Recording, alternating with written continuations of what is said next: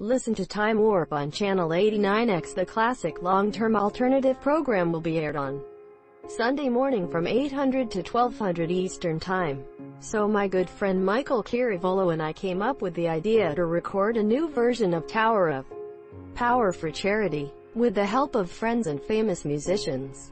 Genres of the old school, shoegaze, psych and darkwave. Hang DJ is home to my old Warp radio show which was broadcast in 89X until March 2017.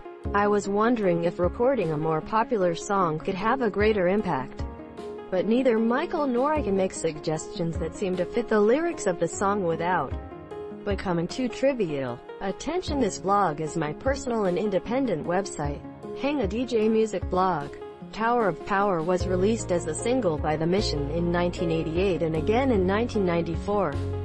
TOS 2020 will be released on August 28 and will be available on CD, vinyl and as a digital download.